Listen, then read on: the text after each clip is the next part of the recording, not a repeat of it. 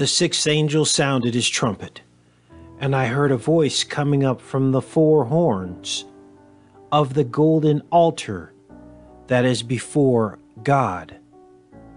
The four horns of the golden altar that is before God. And this is the cerebellum, the underside of the brain.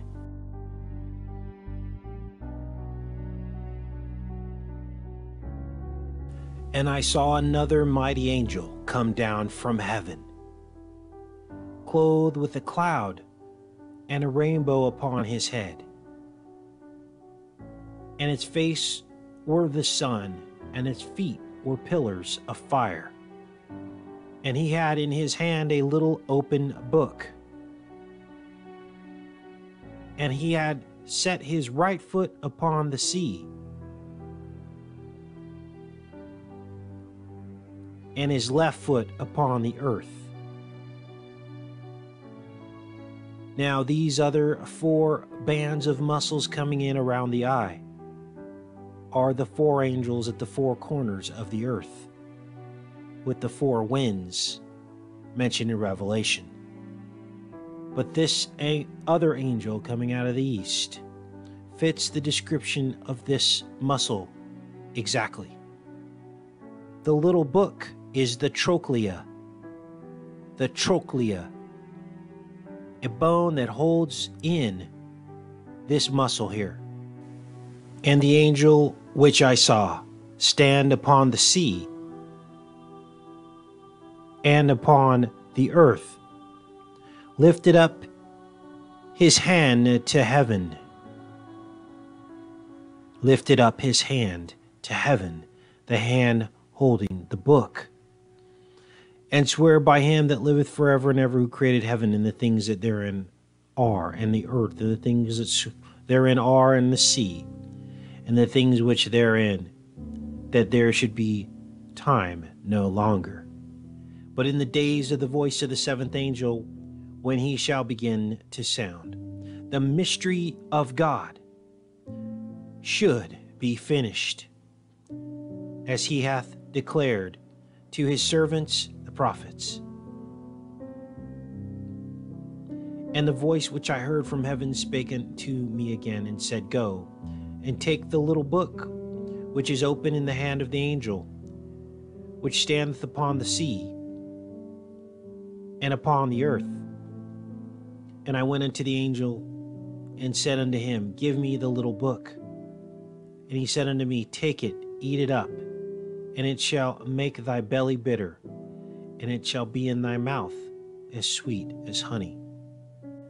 These are the two olive trees and the two candlesticks standing before the God of the earth. The two olive trees and the two candlesticks. The two candlesticks and the two olive trees, as you can see here.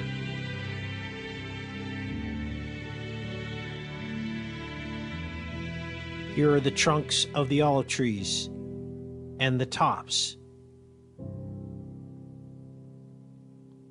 And here are the two candlesticks standing before the throne of God. And if any man will hurt them, fire proceedeth out of their mouth, and devoureth their enemies. And if any man will hurt them, he must in this manner be killed. These have power to shut heaven that it rain not in the days of their prophecy, and have power over waters to turn them to blood, and to smite the earth with all plagues, as often as they will. What you're looking at is a cross section of a flax stalk. And you're seeing that this person is comparing the various stocks or seeming stocks around the earth. Flat mesa surfaces with columns of hexagonal beams squashed together, just like the stalk, just like the stalk. And this is simply amazing because I believe now that we have another very specific piece to the puzzle. That these stalks that are coming up out of the earth, coated in a skin, just like the skin inside of the flax stalk. I believe that these were all hyaloid canals, conduits to heaven. And this is just simply amazing because this was the missing piece to the puzzle. And I told you guys before that there were these structures around the earth, which is what you're seeing on your screen, coming up out of the ground. They look like stumps, as this YouTuber describes here. They look like stumps, except they're all cut off. Now, we talked about this lens here in the eye, and then when you cut right through the center, just like this, you get a cross section of a honeycomb matrix.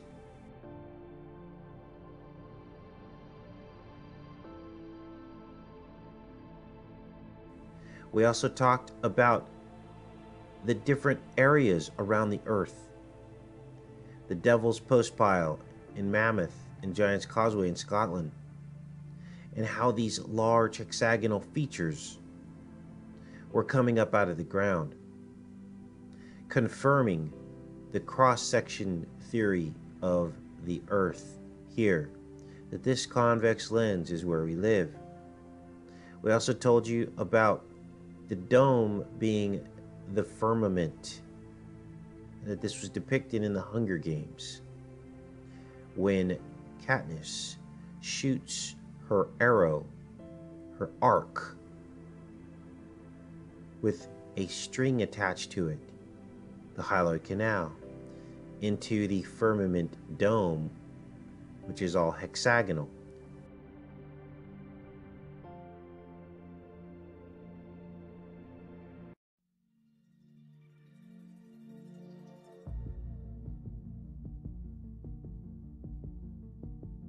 Just exactly what you're seeing on your screen on the left.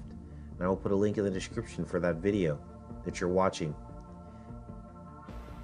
And we understand that when you do a cross section of the rods and cones that line this inner eye here, it also looks like a hexagonal honeycomb matrix.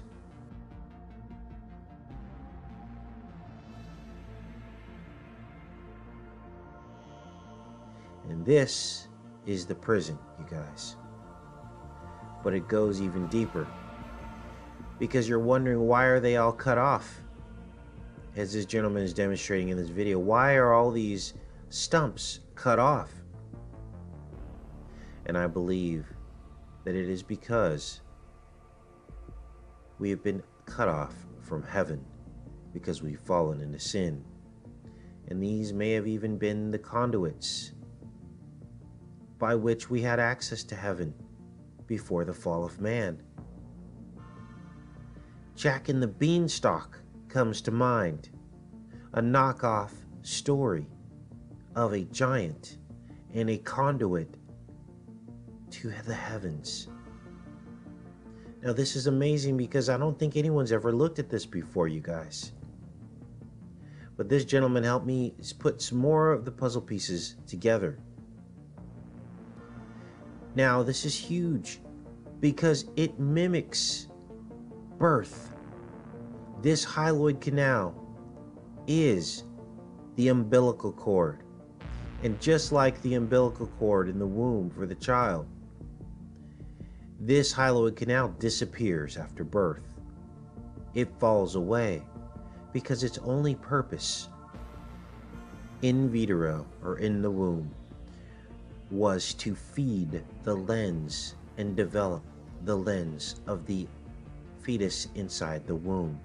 And once the fetus is born, this disappears and only a remnant is left. And some people see that as floaters. So you see, we are now seeing more pieces to the puzzle. and the kingdom of heaven is within. We look inside to find the answers. And that's why this hyaloid canal is going from the outside to the inside. This is the narrow gate. This is the Red Sea. This is the wilderness. This is the flood. And over and over again, God was trying to show us the truth.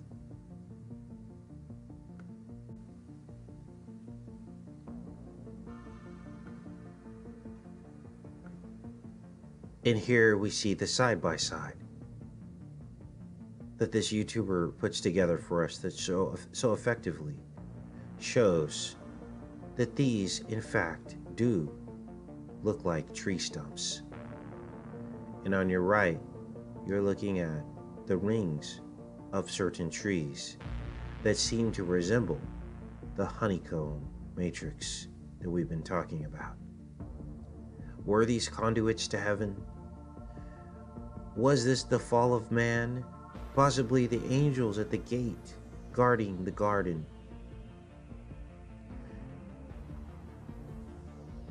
Was this an ancient forest of trees going to heaven? These are the questions that will become clear in the coming days as we continue to try to fight to find the truth.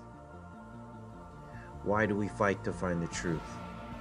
Why are we so relentless in our search? Because we know deep down in our heart that we have been lied to. We know we've been lied to. And we know that the truth is out there. And the controllers of this world do not want us to find it. We know who rules this realm. We know who rules this realm and therefore we know that there are other answers and other ways for us to find the truth. If only we want it bad enough, if only we seek it. Now, what is the hyaloid canal? And how does that fit in with what we're talking about? Well, I'm going to show you. This is the hyaloid canal, the narrow gate and forty days and forty nights was the flood, and forty years the Israelites were in the wilderness, and forty days Jesus was in the wilderness. And I believe this is the wilderness here. The child in the womb for 40 weeks. It all fits together, you guys. He was trying to show us the truth. The hyaloid artery is a branch of the ophthalmic artery, which is itself a branch of the internal carotid artery. It is even calling it a branch, like a tree. It is contained within the optic stalk, that's like Jack in the beanstalk, the stalk of the eye. The branches extend from the optic disc through the vitreous humor to the lens, the optic disc being the back here, and then the lens extending through the vitreous humor through the wilderness. Usually fully regressed before birth. Its purpose is to supply nutrients to the developing lens in the growing fetus. We are born then into sin. It is cut off, just like the images we're seeing around the world. And that is fascinating.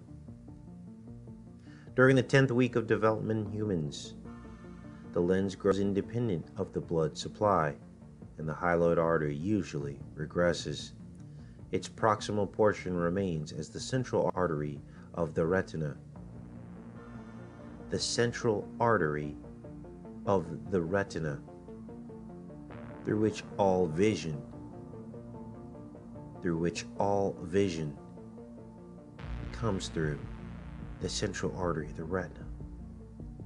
Regression of the hyaloid artery leaves a clear central zone. This is the narrow gate. through the vitreous humor called the hyaloid canal.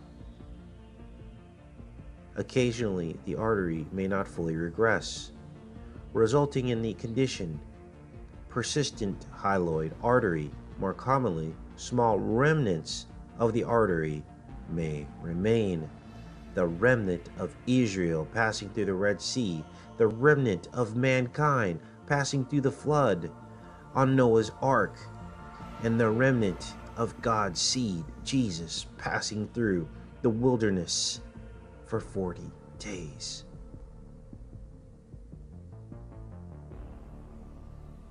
Free remnants can sometimes be seen as floaters. An anterior remnant of the hyaloid artery can be seen in some people as Mittendorf's dot, a small pinpoint like scar on the posterior surface of the lens. A posterior remnant may be seen where the artery left the optic disc and is known as Bergmeister's papilla. The Bergmeister's papilla is the remnant of the artery left on the optic disc, which looks probably a lot like this. And you can't make this up, you guys. This is the truth.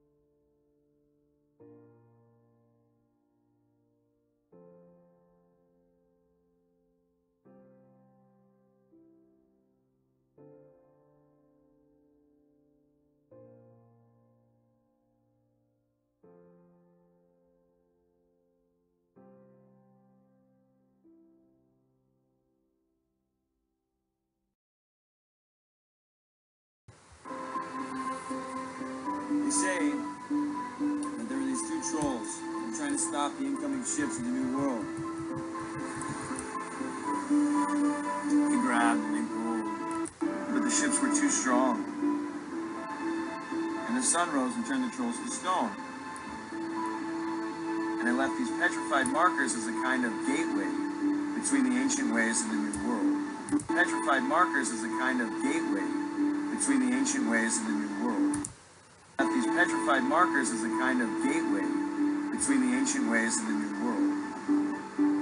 It's like they were waiting for us to bring in everything that was clean and good and fresh. I always liked that.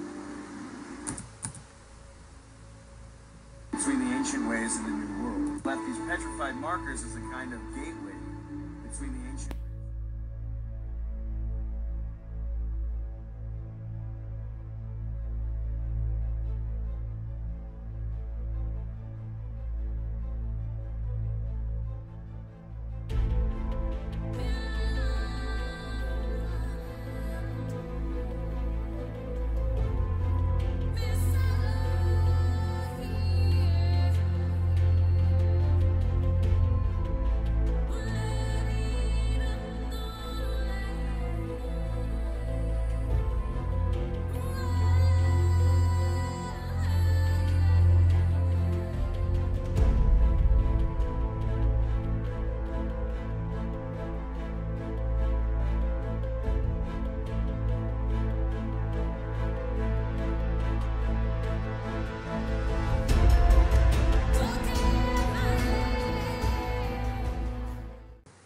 this is all about the as above, so below. Two worlds colliding, passing through the veil, through other dimensions. We also see the blue bloods coming forth. As you can see, his gun is actually blue. And also, there's a quick scene here where you see that it shows Pennywise. Well, the original pennies were 100% copper which is the blue blood. Here is the Pennywise.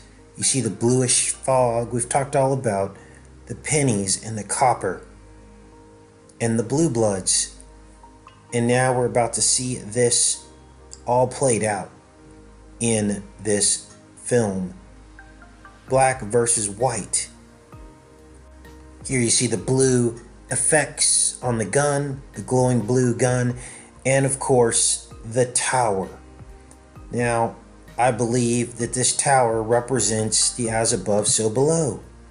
And I believe the, these are the trees that once reached to heaven. So again, we're seeing this repeating pattern in all of these films and trailers. We saw it in Transformers the last Knight. These these pillars going reaching into the heavens connecting two worlds. We also saw it in the new Star Wars film we saw these trunks of trees cut off, being cut off from heaven. So I've told you guys before that the word El also means a type of pistachio tree, the terebinth. And so now we have Elba, Idris Elba. El also means God. So, what is where's all this heading? So now that we know that Elba contains the word El, which means tree. And this movie is all about a tree, basically, a tower that looks like a tree trunk. This confirms the decode that we just carried out. It confirms our beliefs that this tower isn't a tower at all, it's really a tree trunk. Undeniable at this point. So I decided to look further into Idris Elba's name, the 44 year old who is going to be in this film and I couldn't believe what I found because his name, Idris, means ardent Lord, and is also the name of Idris, the Islamic prophet in the Quran, usually identified with Enoch in the Bible. So his name means Enoch the tree. This is unbelievable. And that's what this is all about. Now, this is shocking because what we find with Alien Covenant as film pulls directly into biblical themes. This is actually the patch from the actual movie cover poster. Journey continues, it says, Alien Covenant. There's the green, which is the serpent green, but what you're going to also notice are the two the two angels here that were actually atop the Ark of the Covenant. Named Covenant, and then it's got the angels here on Earth. Now, the numbers mean everything. When you count these ley lines across this globe here, you get seven going in this direction and seven going in this direction, which gives us 77. And we are, in fact, in the Hebrew year of 5777. This all means something, and it goes very, very deep. Now, here's the patch. Let's go here. What is a covenant? Well, pulled simply pulled up Wikipedia, and here it says right here in plain sight that there these were covenants between man and God. And there is a little bit of debate as to how many covenants there are, but it states here that there are roughly from 1 to 12. It says right here. And so, what does that mean? Well, when I looked at the number in the cast, the number of people in the cast of Alien Covenant, there are 12. 1, 2, 3, 4, 5, 6, 7, 8, 9, 10, 11, 12. So now we have more links to biblical themes. Now, this goes very deep because these biblical themes also go back to the original um, serpent seed doctrine. What originally happened in the Garden of Eden, when all of this started, there was an infection, an infection of humankind. And they actually demonstrate that here the mixing of the seeds. This is another movie cover poster. These men are called the engineers, and they actually engineered these aliens so that they could use them as like practice, like games. And then the aliens then turned on them, went out of control. And the plot, this is where the plot of the film series Aliens actually comes from. And of course, here you see on the patch, another part of the patch is the scarab. This is the scarab beetle. Okay, now we've covered this because, and you're going to see how all this links in together. This is the patch for Weyland Industries, uh, the, the people that are basically funding all of this outer space research. And and this is where these humans keep running into these aliens in outer space, right? It's the scarab beetle, the wings, okay? Transforming bodies and souls is what Ra did. Beetles of the Scarabaeidae family, the dung beetle, roll dung into a ball as food as a brood chamber in which to lay eggs that are later transformed into larvae. For these reasons, the scarab was seen as a symbol of the heavenly cycle and of the idea of rebirth and regeneration. The Egyptian god Khepri, Ra, is the rising sun, was often depicted as a scarab beetle or as a scarab beetle headed man. The ancient Egyptians believed that Khepri renewed the sun every day before rolling it above the horizon then carried it through the other world after sunset, only to renew it again the next day. So now we begin to understand what this means. You see, there's the world, the sun, and actually show the heavenly bodies in here the sun, moon, and stars, the beetle rolling it away. But what you're going to notice is that the wings of the angels. Now, listen carefully here. This is crazy the wings of the angels that are shown here on the Ark of the Covenant, which was a holy covenant between God and man, are in reverse for the scarab beetle. Are you starting to understand what's going on here? Opposites. We've got the wings going out here and the wings coming in here. Now, let's continue on with this because this is pretty fascinating.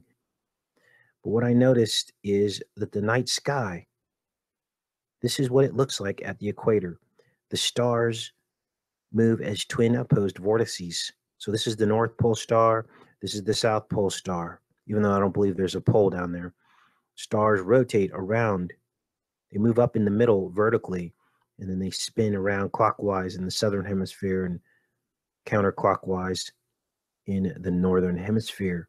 And it makes this mirroring effect, this bizarre mirroring effect that can only be explained by some kind of overhead vortices.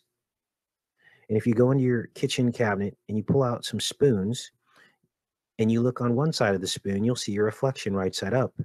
But if you turn the spoon over, you will see your reflection upside down. Now, what does all that mean? Well, we have two lenses, and the Scarabaei beetle, the dung beetle, seems to show us two lenses a spoon one way and a spoon the other way. This was fascinating. They actually show these tree stumps. Again, they're repeating these themes, you guys. What is the tree stump? Well, these are the umbilical stumps. We talked about this. These trees used to reach heaven. And they repeating these themes. This is actually from Transformers the movie. They're showing us the tree stumps. But basically, what they're showing us is these umbilical stumps. These are the actual tree trunks, but left behind are the stumps. And then you can see clearly that they're showing us the hexagonal matrix. These stumps, residual stumps that are left over all over the planet, look exactly like these hexagonal patterns. Giant's Causeway in Scotland. We have the Devil's Postpile in Mammoth, and we have the Devil's Tower in Wyoming. They all have these hexagonal structures of rock. Now they're calling them basaltic rock, okay, columnar basalt. And they're saying that it's that it's actually created by the uh, magma inside the earth, and somehow they just naturally settle into these perfect hexagonal patterns. And we see these stumps dotting the entire earth. But then why are they showing us this? And we had already discovered this before this trailer ever came out. This is from Transformers. They're showing us the stumps again in Alien. Here's another one from Transformers. They're showing these trees that used to reach all the way to heaven. We're not making this up we're discovering it and then after we're discovering it they're putting it in movies or before uh, or after and to me that's fascinating it's almost as if we're one step ahead of them and they can't keep up with them because their goal is to fictionalize the truth that is what they're trying to do and this doesn't happen once on this channel this happens almost every week something that we talk about later is profiled and shows up in these films okay? That's simply fascinating. Now obviously the alien spacecraft kind of looks like the the eye model a little bit of a stretch. Some people have compared it to the inner structures of the brain the fornix as possible okay but i wanted to make sure i got all this across to you guys the covenant that god made with the israelites comparing that directly to this it's undeniable with the wings covering the ark of the covenant there are 12 total covenants in the Bible, 12 in the cast of the film. And I did forget to mention this that these covenants involve the cutting out. This is fascinating. Okay. Here it says here. This is in Wikipedia regarding covenants. And let's see, let's just do a, a search. Oops. Okay, covenants in the Bible were often sealed by severing an animal, with the implication that the party who breaks the covenant will su- suffer a similar fate. In Hebrew, the verb meaning to seal a covenant translates literally to cut. Okay, now what is that about? Well, what else did we see in Alien? Well, these things cut themselves out of the person after they've infected the person. They pop out of their like chest and their back and stuff like that. So that may be a clue that links those two together. Now, this is all goes back to the seeding of the planet. In fact, in the original um, trailer, it says path to paradise begins in hell. Okay. So it's again, it's pointing back to paradise. It's pointing back to the Garden of Eden. And this is all about the aliens seeding the planet. So who are the aliens? Obviously, it's the devil. That's what the alien really is. And they infect people with this black goo.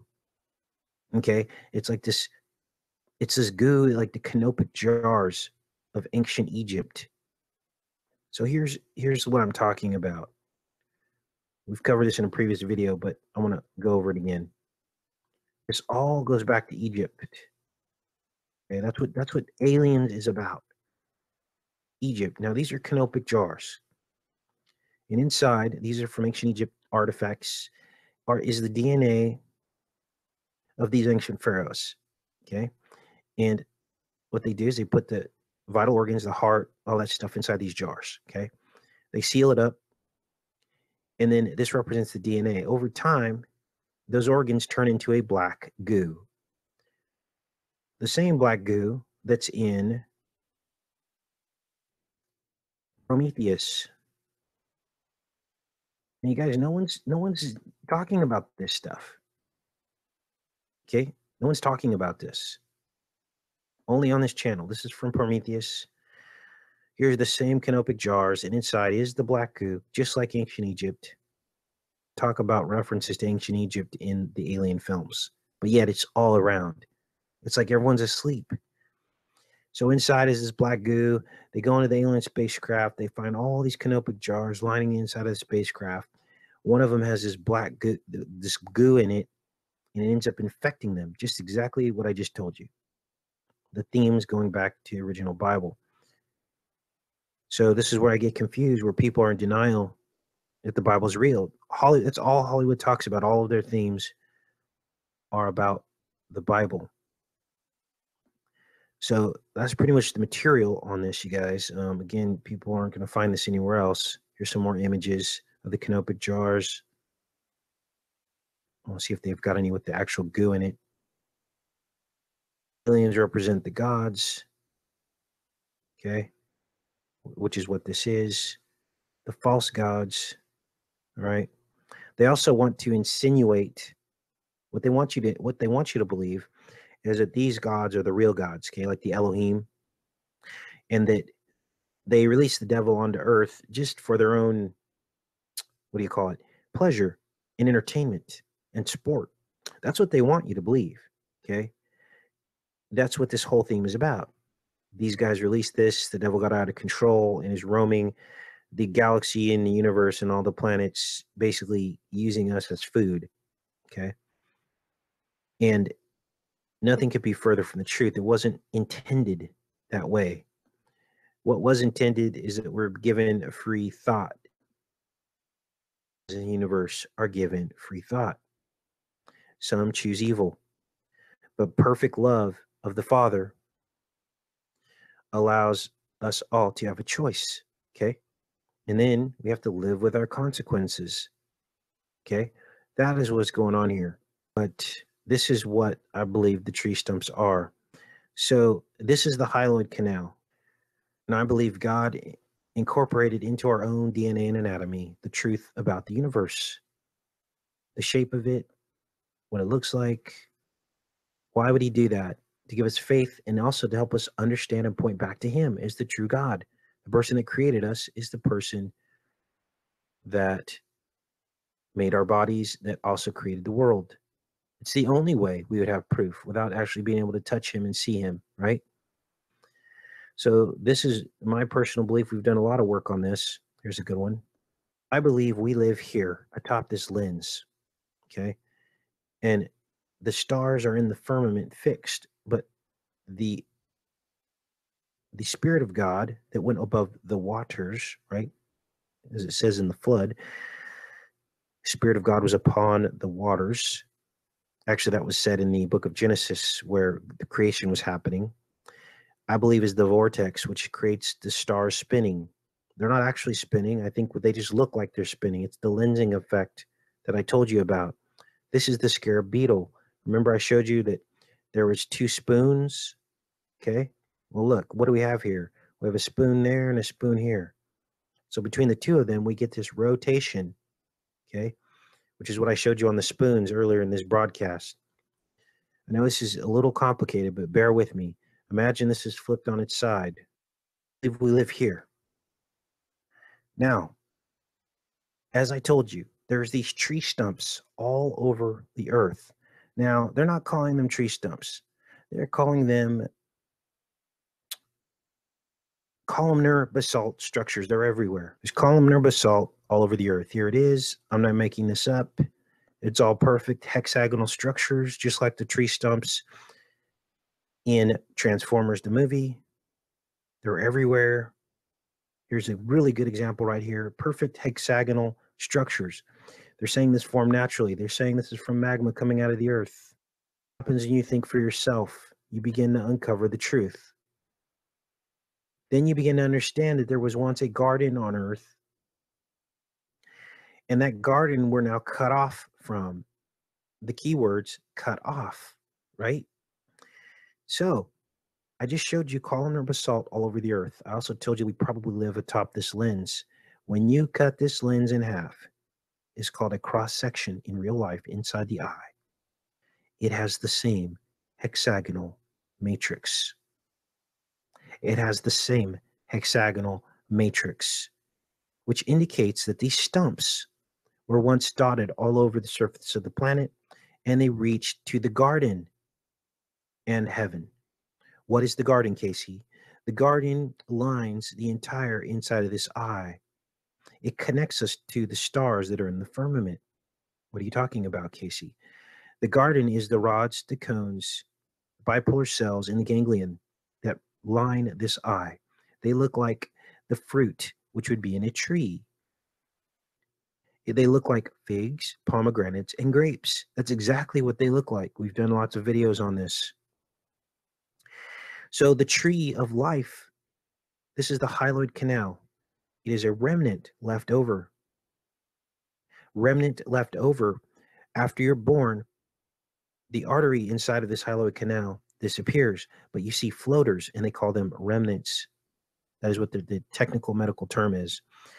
This used to be maybe the tree that reached to heaven, the tree of life that connected us to the garden. We are now cut off from the garden. We're cut off from the stars.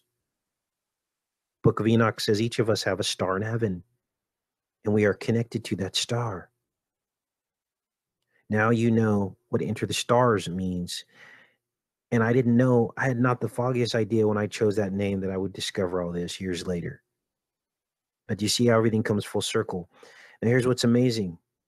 Not only does you have a cross section here of this, and it makes this hexagonal honeycomb matrix that matches exactly these basalt structures all over the earth, but you also get the same when you cross section a sliver of the rods and cones.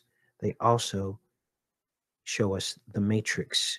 Now, were they originally like that? I don't think so, because a hexagon is like the hex. That's the curse. That happened after we were severed. Once we were severed, everything retracted and basically went back to a like a beast state. That was the hex put upon the earth because sin entered the world, right? So therefore, we're cut off from our star. We're cut off from paradise. We're cut off from the garden, right? And the spinning swords that blocked the way to Eden, talked about in the book of Genesis. There were two cherub with spinning swords. I believe that that's the vortex, and that's why we see the star spin in the sky. Those are the two spinning swords of the cherubim blocking the way back. That's why the night sky is dark. I think originally it was probably more brilliant. You could see with a lot more resolution, but we're all cut off. And of course, we're observing all these things through our eyes, right? So there are actually three layers of the hex I just described to you one in this wall here. When you do a cross section of the rods and cones, it looks like a honeycomb hexagonal matrix. There's also one here when you cut this lens in half, and there's one more inside the cornea. It's called the, uh, there are three layers of the hex. So that's what these tree stumps, I believe, are. This is where things get interesting. I believe, is the silver cord. It's also the umbilical cord. When this stump, this trunk of the tree goes up, it hits the retina and it branches out. So now you have a tree with fruit in it. The tree of life, I believe this was in the middle of the garden. You see how that works. This is the trunk, goes up. This artery inside of here connects with the retina, which shades this like a giant umbrella. And it is a tree. That's what it is. I, I'm not making it up. That's just what it is. Now, this remnant, we've seen this over and over and over again in the biblical narrative. This remnant is Noah in the ark, in the flood. There were eight left, a remnant left, the seed of God left as they passed through. Here's the ark. The lens is arced. Passed through the watchers, the flood. This is all filled with water in here. It's called the vitreous humor. They were in here for 40 days and 40 nights. It rained, right?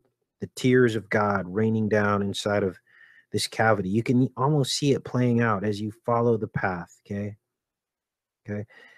And we also have who else talked about this? David said, I shall walk through the valley of the shadow of death. The Lord God is my rod and my staff. Here's the rod, here's the staff. It's the star spin in the night sky, you guys. We saw it again in the Israelites that were in the wilderness for 40 years as after they passed through the Red Sea. Here you're looking at the Red Sea. The remnant, Israel was the remnant passing through. They had the ark of the covenant with them, right? Leading the way. God protecting them. We also had Jesus who fasted for 40 days and 40 nights. Okay? The he was the remnant, remnant seed. He was the one seed and he passed through his wilderness. It's all about passing through this wilderness or the void or the womb. We all have to pass through the womb. We all have to be born into this reality, born into sin. Okay. And it's just so happens that a child is in the womb for 40 weeks. See, do you notice all the 40s? Here's the umbilical cord. The retina is the placenta child is upside down. Here's the cervix, the crown. Child crowns. Child is upside down, and when the image comes in through your eyes, it's upside down, it's inverted. It's a perfect analogy. There's water in here. This is the amniotic fluid. But we forget, we get amnesia. We forget, don't we? When we're born. Amniotic fluid, amnesia. There's a reason why both of those words are the same. Now, for the good part the salvation plan. So, because even though we're all born into this reality, we're born into the material realm, looking out into the material, which deceives us. God's given us a plan, and that is Jesus Christ. How, Casey, what are you talking about? Well, these nerves, these optic nerves, they cross in the middle. And where they cross is called the optic chiasm. It is also called, there's a literary structure of an outline structure when you write poems and books and things. The Bible actually follows the literary structure called the chiastic literary format, which is the same name as the chiast optic chiasm, which is the crossing of the optic nerves at the center of the brain. And guess what they call the chiastic literary format It is an outline form of A, B, B, A. In other words, you start telling the story and you tell it backwards. Well, what is A, B, B, A? That is Abba, which also means father. Abba, father, take this cup from me. You see how God loved us so much? He basically shows us within our own anatomy the way back to Him. This is the optic chiasm I'm going to show you the cup that Jesus was talking about. This is it here, the optic chiasm view image.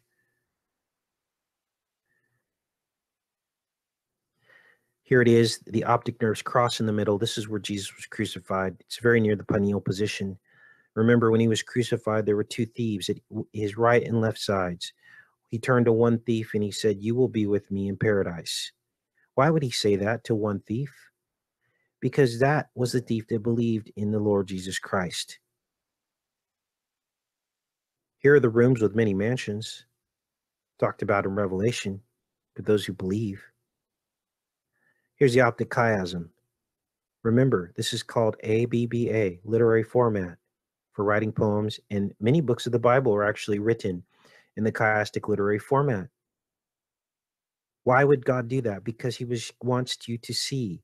He wants you to know him on a much deeper level than we're being taught. And all this knowledge is being hidden from us because they don't want us to have a direct link to God. They don't want us to see this. But watch this. Jesus was crucified at the place of the skull. It's called Golgotha. Here we are in the skull. Here are your two thieves. Here's the cross. And I'll let that sink in for a minute. He said, Cast your net to the right side. Here's your neural net. Why the right side? That is the Messiah side of your brain. People who are right brain thinkers believe in a Messiah or a Savior. He said, if your right hand causes you to sin, cut it off. If your right eye causes you to sin, gouge it out. This is all in the Bible. Because your right is controlled by your left side. He's telling you to cut off your left brain, your scientific brain. Believe in the Messiah. You see how I could not have possibly made all that up? That is a gift of the Holy Spirit to know God better. Also, we also know that Goliath's head was buried here. Christ was crucified. So through the pathway of light coming in through your eyes, that's where we find the truth. That's where we get to know God. Now, some people will try to say, oh, well, all of this is just an analogy, then the Bible's not real. No, nothing could be further from the truth, you guys. Basically, what has happened here is there's no one in their right mind that could possibly have understood all of this physiology back when the Bible was written except God Himself. So Christ is showing you the pathway back to Him. He's showing you that don't look out. He says the kingdom of heaven is within. In other words, the truth about the kingdom of heaven is inside of us right here in our physiology. And that to me is spectacular and amazing. Today, we're going to talk about the stars in the heavens and the sand of the shores. Now, God said something fascinating in the book of Genesis the book of Genesis, found with the Dead Sea Scrolls, dating back to 100 BC, which is over 2,000 years old. Long before there were telescopes and microscopes. This is what God said about the sands in the sea and the galaxies and stars of the heavens. He said that Abraham's seed, his seed would number as the sands of the sea and the stars of the sky. Let's read the verse in Genesis 22 17. That in blessing I will bless thee, and in multiplying I will multiply thy seed as the stars of the heaven, and as the sand which is upon the seashore. And thy seed shall possess the gate of his enemies. Now it's interesting because stars and sand are again compared in the New Testament in Hebrews. Therefore sprang there even of one, and him as good as dead, so many as the stars of the sky in multitude, and as sand which is by the seashore, innumerable. Now I don't know who is speaking these words. Maybe this was Paul. But this is fascinating because basically they were quoting this Genesis account. Now, let's go on. Why is what God said so fascinating? Well, because when Genesis was written down, thousands more years before the oldest copy that we have of it. Nobody had a microscope, and nobody had a telescope. But the one and only true God knew that the microscopic sand and telescopic galaxies are almost identical in shape and form. Let's take a look at some of these images. These are galaxies.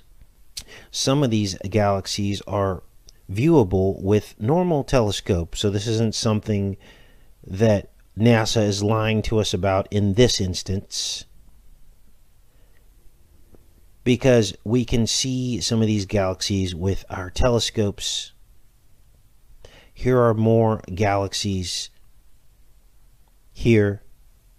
This is called a barred spiral galaxy because it's got a bar across the middle of it and it spirals. Here are some images of galaxies here. And as you can see, there are a couple of different basic forms. The spiral as well as these bars or like almost looks like a stick. Okay? Those are the two basic forms of galaxies. Now, there are other peculiar forms of galaxies, but one thing emerges one truth, and that is that these spiral shapes mimic the spiral and bar shapes of microscopic sand, which is what you're looking at now. Now, wrap your brain around that for a second. Before there were telescopes or microscopes, God was asserting his dominance and infinite wisdom of the things he had already created. And he basically told everyone, long before he knew they would discover it, that the shapes of the sand in the below and the galaxies of the above would be the same. Now, when I first discovered this truth about three years ago, because many of you that have been on the channel, this is your second or ter- third time hearing this, I was fascinated. But sadly, with the cognitive dissonance and the attack on the Bible, a lot of people write this kind of information off. So it's my job to do my diligence and give you a detailed account of this miracle in the uncovering of deeper meanings of the Bible. And this is why we have to be so thorough in our work. So, another fascinating truth emerges when we look at this, and that is that this sand that is at the seashore is, of course, suspended in the sea, right? And if we think about the upper waters of the heavens, which God says there's water up there, the galaxies are also suspended in water, just like sand. Now, I don't believe these galaxies are as massive as NASA tells us. But think about this for a second. Moving about above us are the galaxies in the tides of the heavens, in the tide of the heavenly waters, just like the tides down here below in the sands of the sea. In other words, above is the same as below. It's a nested reality, which is everything we've been talking about. How things are within things. Now we're going to go on because there's much, much more to the show some new revelations, some new insights. Just as the sands wash against the shore, the galaxies wash against the inner firmament. And I believe uh, everything that we're seeing up there is inside of the firmament and much closer than we're told. But because of the telescoping effect, the lens effect, everything seems like it's so much further away. It's comparable to what you'd see when you go into a planetarium. And there's this giant dome ceiling. And they project the stars onto the top of this inside of the, the firmament of these stellariums. Right? this is what I believe we're looking at. And so we've gone over this spiral pa- pattern that's prominent, these barred patterns that are prominent. And so you begin to wonder is this the gate? Are these gates? Is this why the enemy is so consumed with the spiral shape? Is this the gate through which he fell? And that fallen angels fall, falling through these gates of galaxies down into the below? And they so badly want to go back through, but they cannot. When water drains, it spirals. And these are more clues about what galaxies actually might really be and the medium in which they sit water drains into a spiral. It's interesting because some of you I saw in the chat from Australia know that down there, water drains in the opposite spiral direction than it does in the northern hemisphere. And so there's something, there's some force acting upon that. Now, of course, we know what science tells us, but we want to prove these things for ourselves versus being told what it is that is actually going on. But something changes when you cross the equator. There's a reverse spiral motion of all draining water. Now, I've told you about the water and that water represents gates. So now you're starting to see all this come together. This spiral in the medium of water, in the upper heavens, the water below, spiraling down a toilet, for instance, or a drain. These are gates. And we also know that the elite call spirals gates as well. They use them as gates to evil, gates to hell, through unnatural acts and things like this, and abuse, MK Ultra. Now, I did some research because I also told you guys that when you're born into this world, you enter through a gate. And that the actual musculature of the uterus through which every child passes is the musculus, musculature is shaped in a spiral pattern. We covered that on several shows. It is a twisting spiral pattern in which when the child passes through the birth canal, they actually are twisted out by the doctor. They have to manually be twisted out, or they're born in a twisting motion through the birth canal. Now, this is fascinating because it confirms that something about this twisting motion is a gate. Remember, for everything God does that is good, the evil, the evil one has an evil counterpart a knockoff, a protege. And so just because a spiral is something evil to the elite, an evil one, it can be also the narrow gate back to heaven as well. And of course, the gate of birth into this world, into this time prison. Now, I've heard some other channels starting to talk about the time prison, and that's really good because we want to get the word out. We've talked a lot about the time prison on this channel for many years. We're locked in time. We're locked in the sine wave that goes up and down and around. Sine is sin. We are locked in sin. Children are born into sin. We're born into the sine wave through the spiral. And look at this. The umbilical cord is also a helical spiral. Now, when I discovered this the other day when I was putting together my show notes for this show, I was befuddled and speechless because everything that we're finding just keeps getting confirmed over and over and over again. This is the human umbilical cord, and it spirals into the child. Here's some other images of it here the human umbilical cord is a helical spiral. Here's a diagram of it here. Now you'll see here these are arteries and a vein, right? You have two umbilical arteries and you have one umbilical vein. You also have this space filled with a substance called Wharton's jelly. And Wharton's jelly is only found in one other place in the human body, and that is inside the inner eye.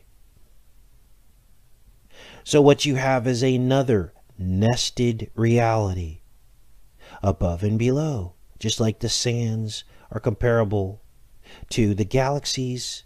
We have the eyeball of a human being comparable to the womb of the woman, with an exit which becomes the iris, the cervix, umbilical cord, which becomes the hyaloid canal or the hyaloid artery in the inner eye that connects the lens to the retina. You have the retina, which then becomes the placenta. There's this nested reality of comparing the inner eye to the womb. You have the inverted child in the womb hanging upside down, and you have the image that comes into your eye that is inverted as well. And there are many, many, many more comparisons between the eye and the womb that are undeniable at this point. We call this the body code. The discovery that nested realities are what uncover the truth about the Most High and His creation. It proves who the one and only true God is. So now we know that this these spirals represent gates. And we know that the human umbilical cord is a helical spiral, bringing us through the gate into the time prison. And that brings us to another very important truth. That again, this is something I just discovered a few days ago. I'm going to present it to you, and then you get to decide what it all means. But I believe we've stumbled onto a very deep truth that helps you understand the world we live in. These are column basalt structures. Let's blow this up. This is called the Giant's Causeway. This is in Europe. And what we're told is that these column basalt structures around the world were naturally formed volcanically. But I believe there's something different going on here. Let me do a little demonstration and show you what I'm talking about.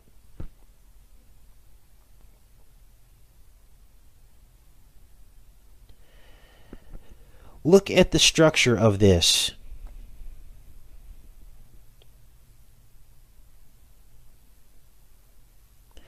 There's your spiral arm.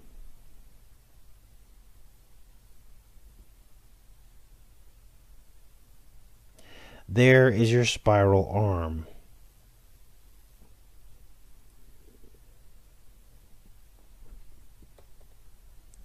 There is your spiral shape. This one twisting up here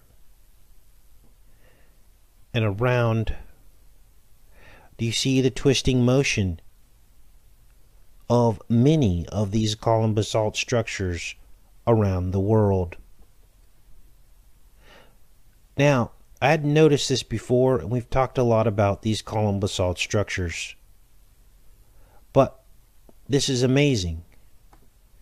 They twist and they turn and if you were to extrapolate this twisting motion out into the heavens, as if this was the base of a stump of a tree, you would realize what you're looking at.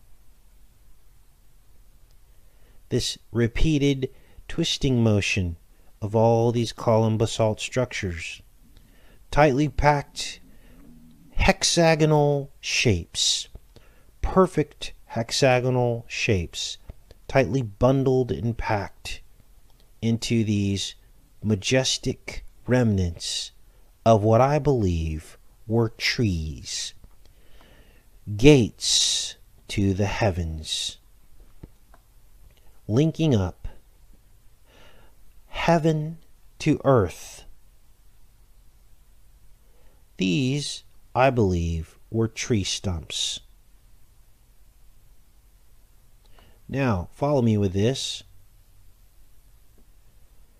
There's your spiral motion over and over again. It's pretty undeniable when you really look at these column basalt structures that these are perfect hexagonal shapes spiraling up to the heavens. It's pretty obvious. And if you extrapolate this out, you can see that it is quite possible that these trees connected to the very galaxies. In other words, what if these were cut off, which is what the book of Enoch says could have happened? It says that the angels labored at the trees. This is in Enoch 66. The angels labored at the trees. These are the words that were used in the book of Enoch to describe an event that happened surrounding all the trees of earth. And that after they labored at the trees, this was right around the time of the flood, that God had to miraculously reseed the earth with different kinds of trees because the angels had labored at the trees and cut them all down.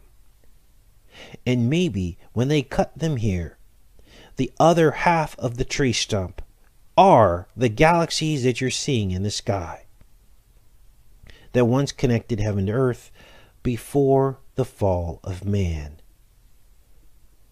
Column basalt are galaxies,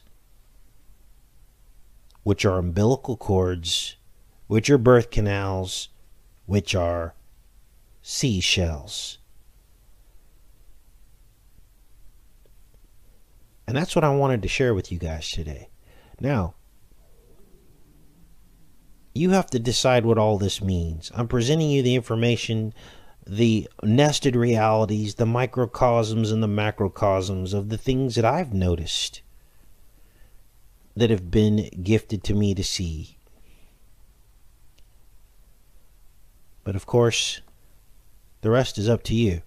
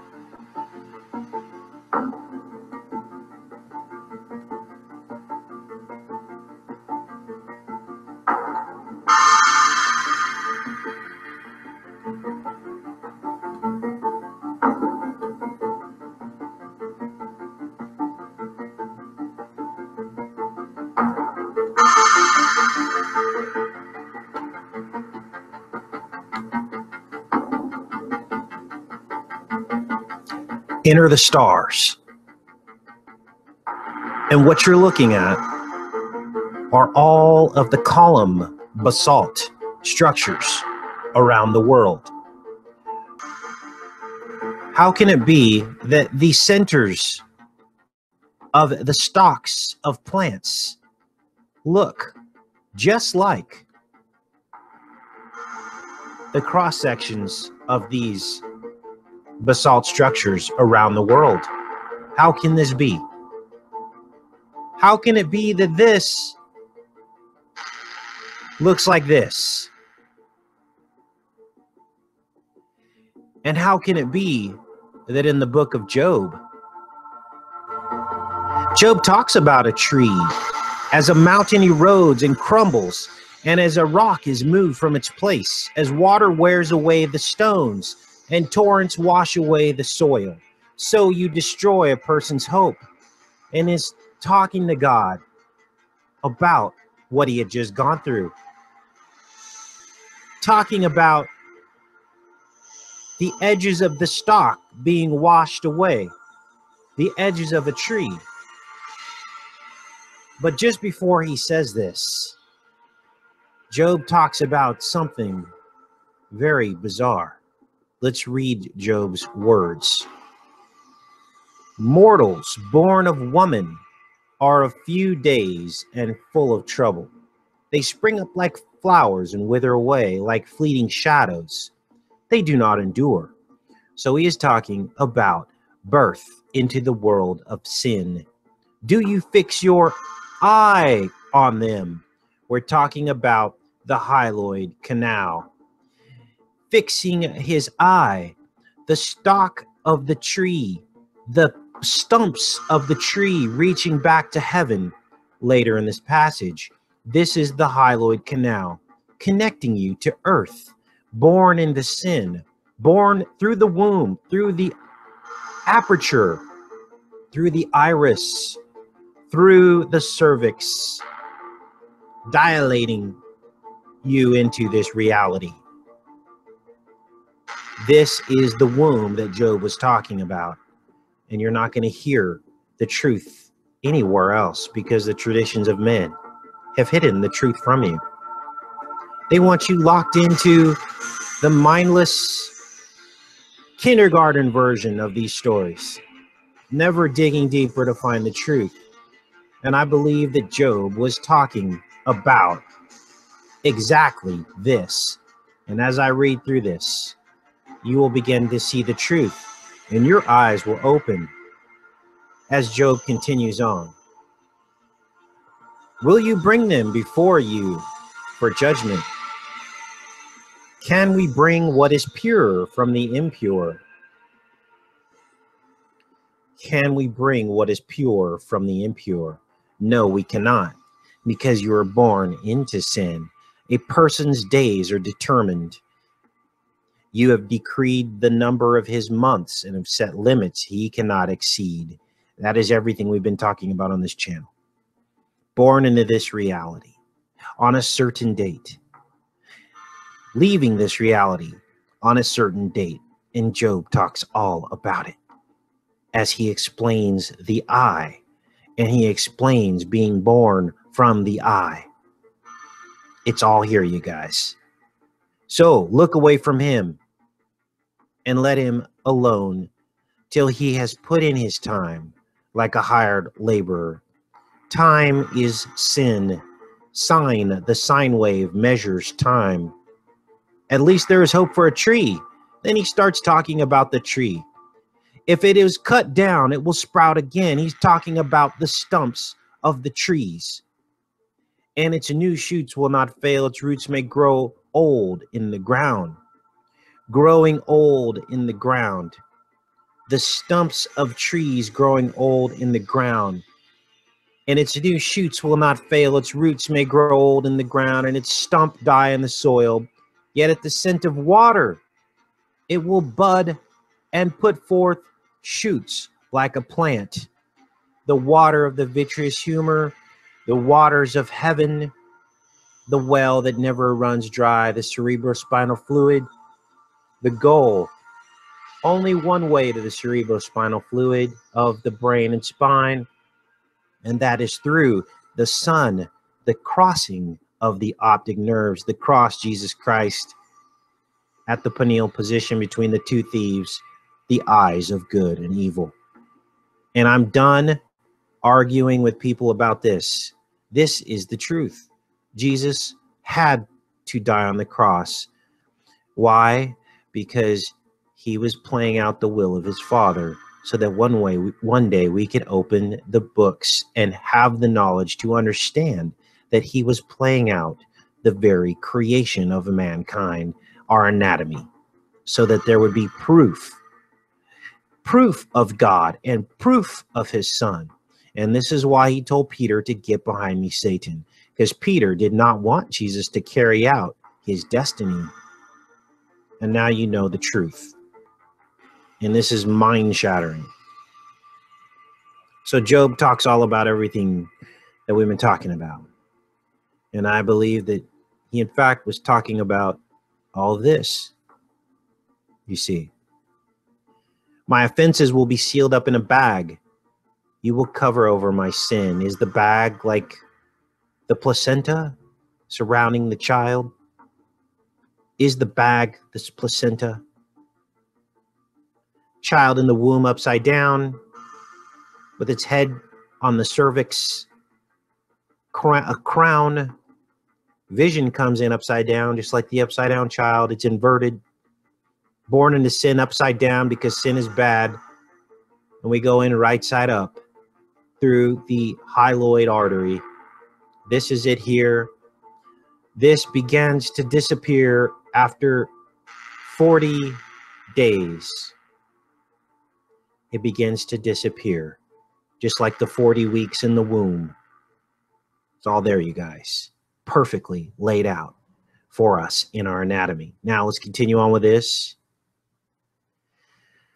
And I'm glad we got Job covered because I was going to do that a different day. Here's another film, ooh, upside down. We're going to cover that. Um, I'm probably going to decode this film. Someone sent this to me. Thank you for sending that to me. You guys, this has me so intrigued and I'm going to show you something that is going to blow you away. These are all the places, or most of them, I've I've mapped out everything but most of Europe. There may be more patterns in Europe, but I did Africa, I did India, I did Malaysia, I did I didn't do all of Australia yet. I did not do South America. There's many in South America but I did North America and Canada. They are complete. In a previous program, we tried to look at the coal deposits, the coal deposits of, you know, next to these stumps. Again, these are all of the stumps of columnar basalt around the world. Mapped them all out. I did a little volcano uh, anagram here or symbol um, because you know that's kind of a joke because were they really made from volcanoes or were they growing living things as we just showed you the centers of stalks of plants look just like these things how do two completely different processes manifest in exactly the same way. They don't because they're the same process. It's a growth process. The outside's been stripped away. Now we looked at coal deposits. My problem with the coal deposits are there are many different maps showing coal deposits. So it's hard to just choose one and try to see how it relates to these stumps. Okay. I can tell you what the Bible says. It says in the Garden of Eden, there were many trees in the garden. Are these the many trees that were in the garden? And there, and then it also says that there was one tree in the center of the garden. Was this the one tree in the center of the garden, the tree of life? That goes back up to heaven? Here's my other question Why are many of these stumps or these basalt structures named after devils and demons? Why? Why is there the devil's post pile in Mammoth? Why is there the Giant's Causeway? In Ireland.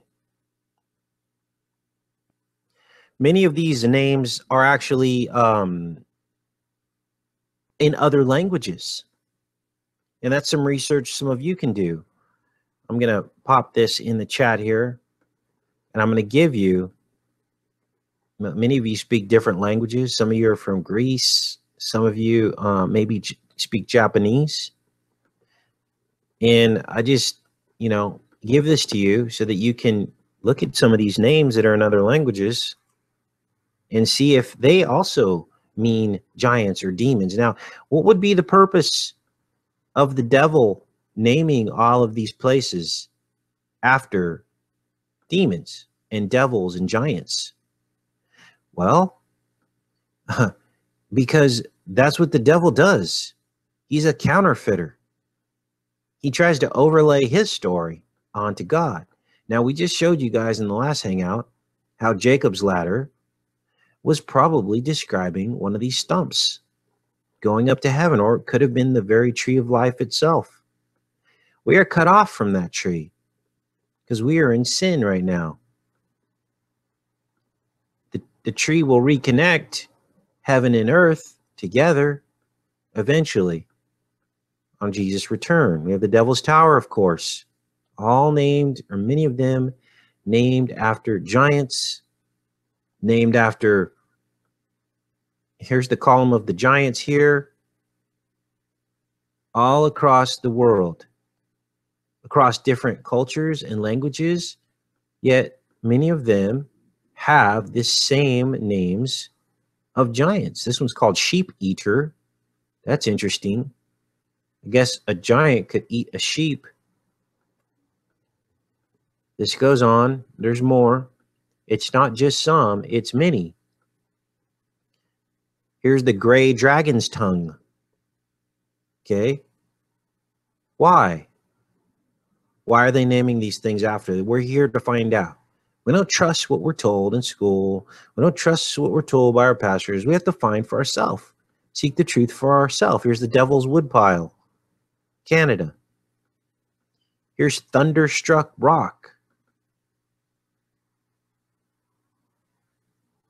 Around the world, across different cultures and languages. Why is there this common theme? Here's Samson's ribs. The ribs of a giant. Was Samson a giant? I don't know. I wasn't there. But why would they call these giant ribs? Maybe because they're made out of rock? Who knows? So here we are, you guys. All of these basalt columns around the world. And it seems as though when we apply Bible scriptures, hidden Bible gems that no one ever knew what they meant, when now all of a sudden we start applying this concept, it fits. And we're going to share another one with you guys today. And that is in Israel, north of the Sea of Galilee. And this is mind shattering because there are hexagons in Israel, northeast of the Sea of Galilee. Let's back this out so you can see this. This is fascinating because a miracle took place at this location. It was one of the only miracles that seems to link the basalt columns of Israel. This is Bethsaida. This is the Sea of Galilee. Now there were actually there were more miracles in this area. There were more miracles in this area of Beth- Bethsaida.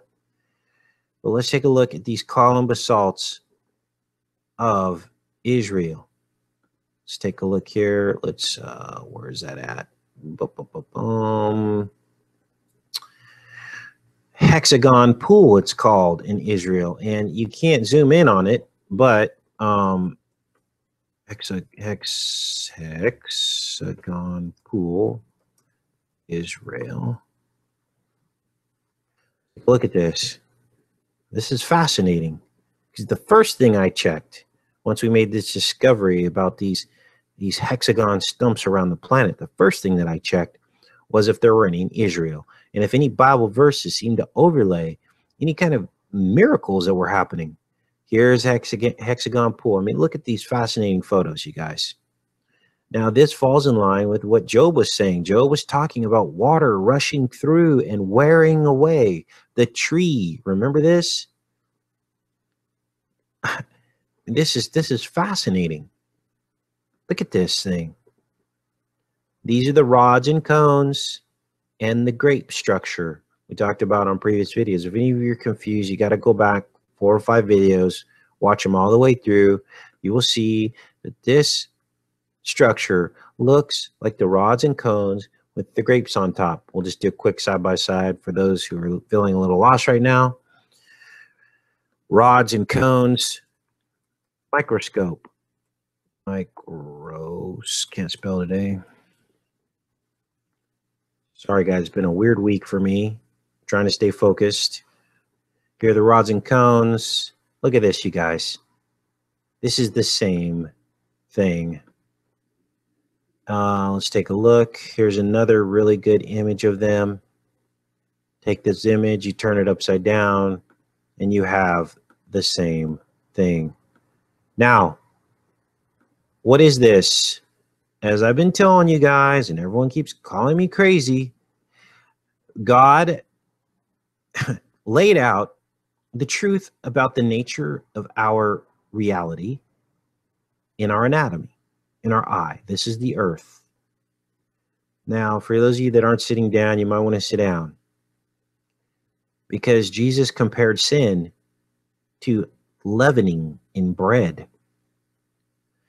And many of you know that when you fit the continents together, they fit together like a puzzle. And that the original shape of the earth was all the continents smashed together all the continents fit together like a puzzle piece. They were all smashed together like Pangea. It was called Pangea. It all fits together like a puzzle. Well, what happened? The cup filled up with sin.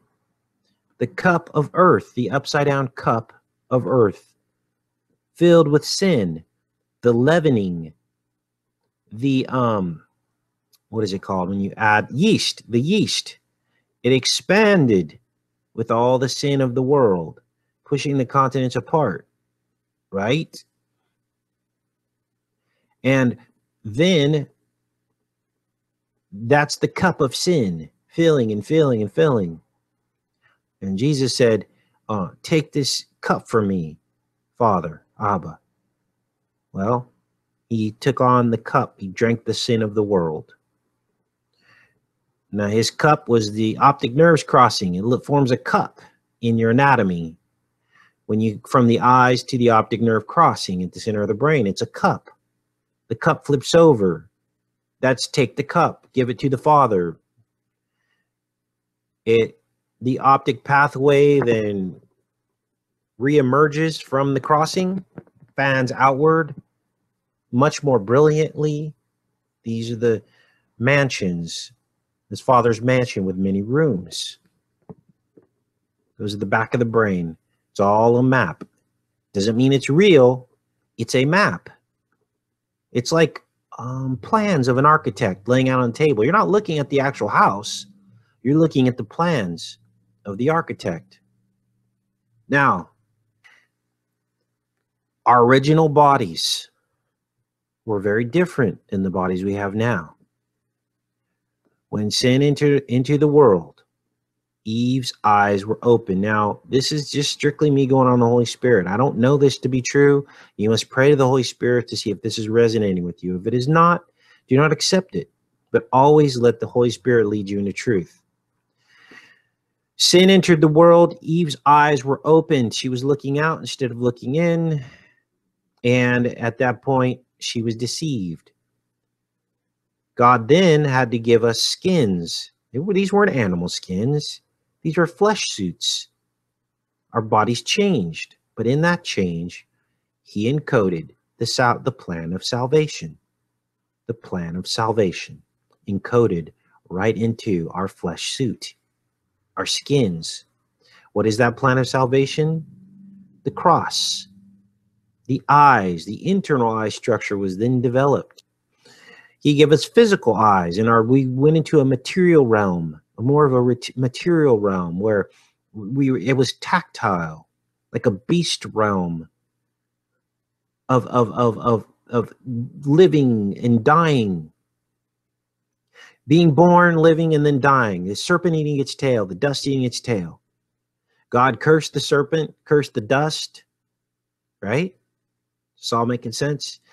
And then, but God encoded the plan of salvation. This is why Jesus had to die because he had to do it on a cross. He had to do it exactly the way he did it. He was following instructions from his father so that we could link all this back to him and know he is the savior. We could link all this back to him and know that he is the savior. He was crucified between two thieves, the eyes of good and evil. This is why the Illuminati cover one eye. It's a big joke. They know this, but you don't. And I'm here to show it to you. They know about the thieves and the eyes. That's why they cover one eye. Now, Jesus did a miracle. It's only in one of the three gospels. They came to Bethsaida. Where's Bethsaida? Let's see here. Here's Bethsaida. Take a look here. Oops. It was at the end of Jesus' journey. Jesus journeyed from Nazareth to the Sea of Galilee. He went from Nazareth to Cana to Tiberias to Magdala to Capernaum and to Bethsaida. And it just so happens that at his last stop, he showed up to the hexagon pools of Israel. And when I saw this and I found this, it simply gave me chills. This is the exact area people people get on me about being you're you know you you're going to suffer the worst judgment. You know what? If it's going to help people come to Christ, and if I get it wrong and God deems me unworthy, at least I went down helping other people find salvation. The, the enemy's out there. He's got a gauntlet of, of things to try to take us off track. I think it's pretty amazing that out of the thousands of pieces of information tens of thousands of pieces of information that you guys have sent me over the last four years that we really haven't gotten it wrong yet, have we? That's pretty amazing. That's a miracle. Because you know the enemy's out there trying to feed us information, right? You know that. But the Holy Spirit leads me in all truth. And this is the place where Jesus performed the miracle a very peculiar miracle. And we're going to read about this as we look at this side by side. And we also understand that these highlands was the very location at which a miracle occurred. Let's take a look at this miracle. And I want you to think about that side by side I just showed you as I'm reading this to you. They came to Bethsaida, and some people brought a blind man a blind man.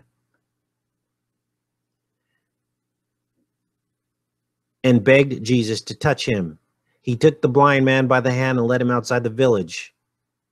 He led him outside the village. Oops. I'm going to go here. I'm going to go here. They were at Bethsaida.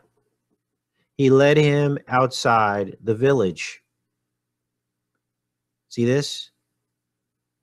Now, for those of you that might be skeptical at this point, I got news for you.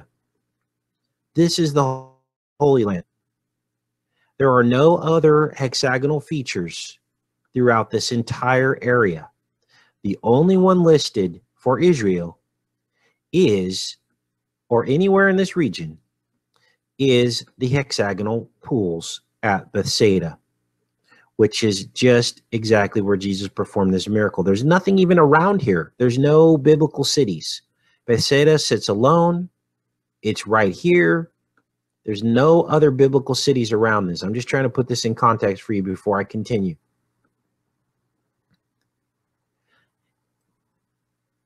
When he had spit on the man's eyes and put his hands on him, Jesus asked, Do you see anything? Do you see anything?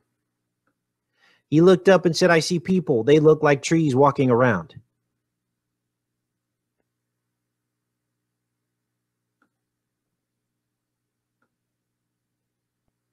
The tree stumps of the hexagon pool in Israel. Is this where Jesus performed this miracle? And was he talking about the Alice in Wonderland syndrome? This one being in reverse, right? Because people didn't look like grasshoppers to this man. They looked like trees. They looked huge.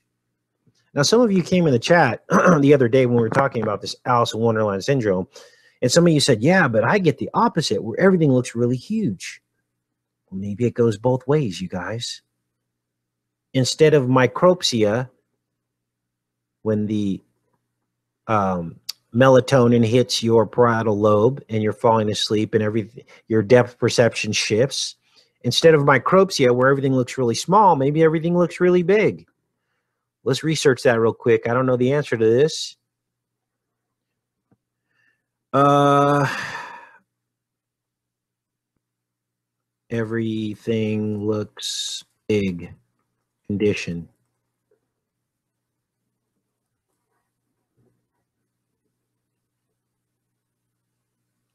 Okay, so there you go. Macropsia instead of micropsia. So we were right. So now we have two instances in the Bible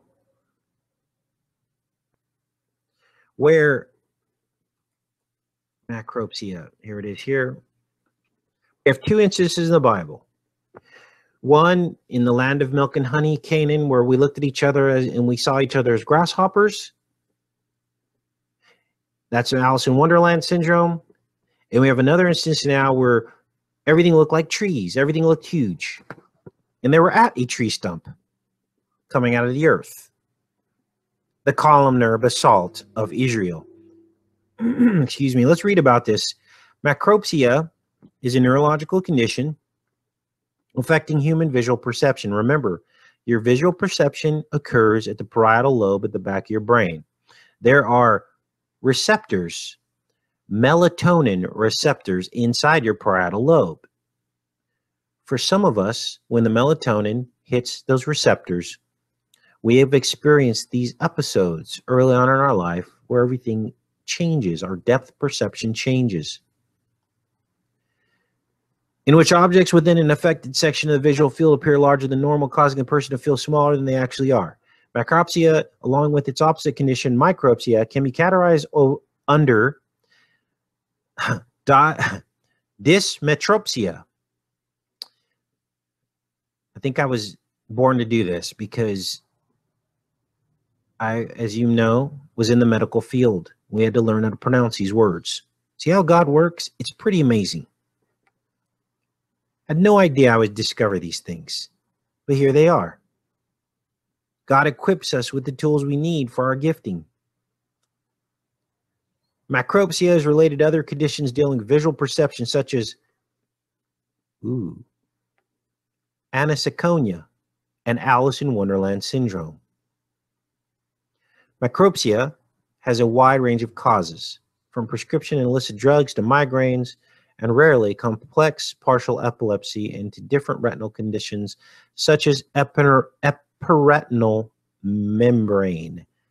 I can tell you that none of these things applied to me, and none of these things apply to any many of you who had this condition because you were children and you didn't have illicit drugs Many of you did not have migraines or epilepsy, um, retinal conditions. I have perfect 20/20 visions. I do have some floaters, which is kind of interesting too, because the floaters are the remnant of your hyaloid artery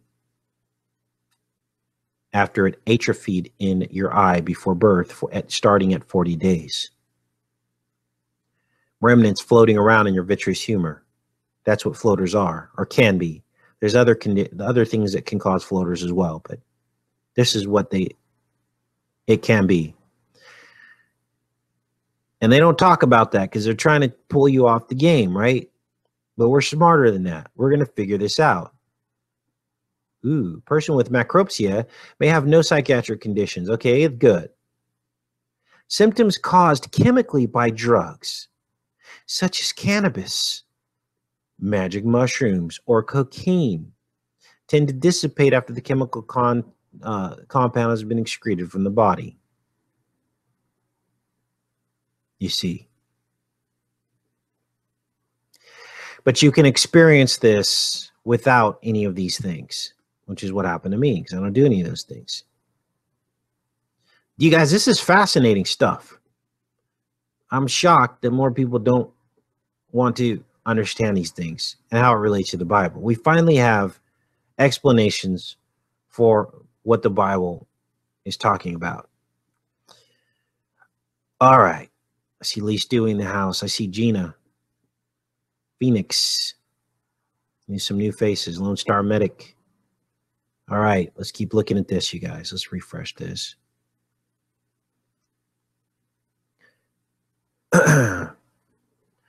All right, let's continue on this verse. That thing's like stuck. Oh, I see. It's good now. I think we're good now. Uh oh, do we get knocked off? All right, let's continue on with this, you guys. What else happened with Jesus? He said, Did you see anything? He looked up and said, I see people. They look like tree trunks, trees walking around, not tree trunks.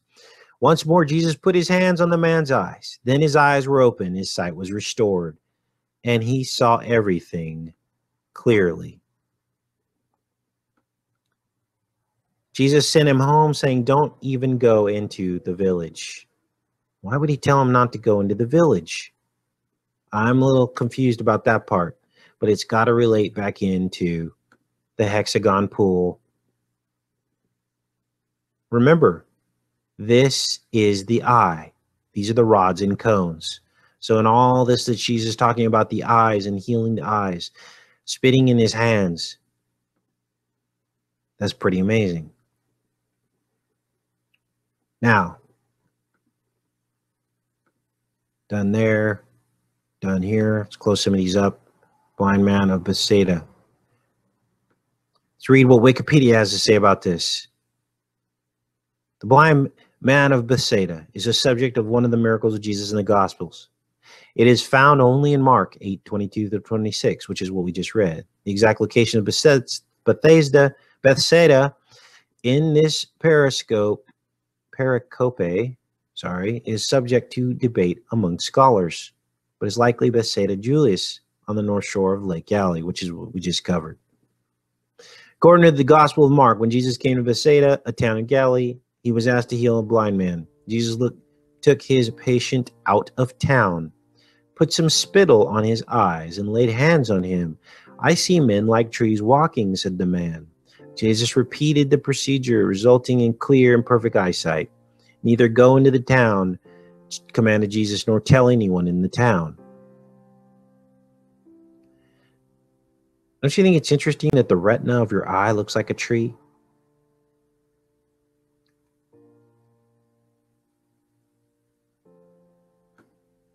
The retina of your eye looks like the tree limbs. This is the tree trunk, the conduit to heaven. We've been cut off, but as you know, there's only one way to the Father.